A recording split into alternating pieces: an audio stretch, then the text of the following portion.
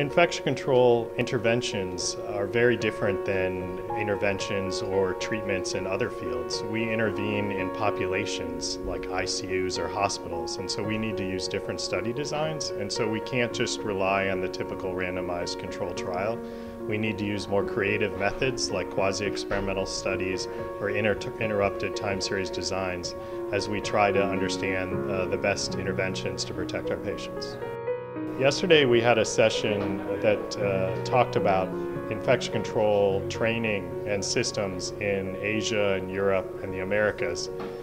And the take home message for me is that there are many similarities, but because of economics and social determinants of health, we need to think about implementing infection control very differently. Uh, we need to consider the local conditions as we try to build systems to protect our patients.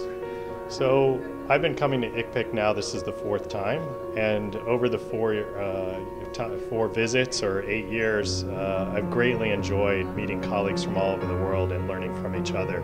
Uh, there's no other meeting on the planet where you can learn about infection control across the globe. So if you want to learn that, you got to come to ICPIC.